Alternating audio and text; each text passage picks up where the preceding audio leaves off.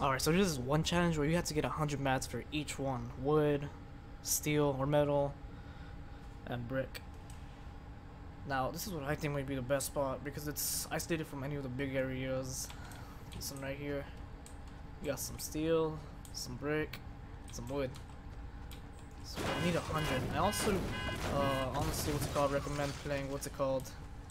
Team Rumble too, because you get a heck of a lot more mats in the regular game. See, I got a hundred masters for destroying those two vehicles. Now we need a hundred stone. Alright, we got 42 there. We still got like two more stones over there. Boulders. You have to do all this in 60 seconds though. As soon as you land, you have to destroy everything. You have to get 300 mats. 100 for each. Alright, we got 100.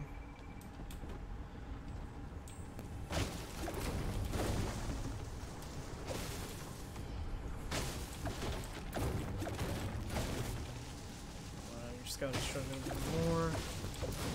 Alright, let's see how long that took. But anyways, this is it guys. Good luck.